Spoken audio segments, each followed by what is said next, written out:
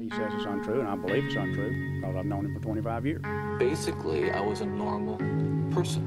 Uh, I wasn't a pervert in the sense that, you know, people look at somebody and say, I know there's something wrong with him, and just tell. I had good friends. I, I led a normal life, except for this one small but very potent and very destructive segment of it that I kept very secret and very close to myself and didn't let, let anybody know about it. And there's nothing in those 25 years that I've seen that would, would challenge that.